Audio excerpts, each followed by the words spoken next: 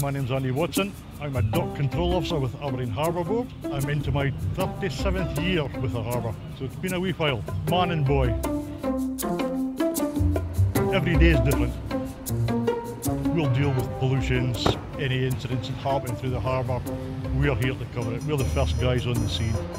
Today it was make sure the weighbridge was unlocked, uh, make sure the grain boats get started in time, the scrap boat gets started in time.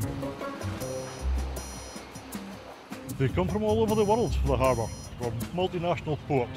We struggle now to get some vessels in with the restricted with the depth and the width of the channel. So the new harbour will help with that. We'll get bigger, better boats in. I retire this year, I retire in September. I'll miss working here, but I'll miss the camaraderie with the different people here. Various industries all throughout get employed through work from the harbour. It's an important part of the city of the harbour.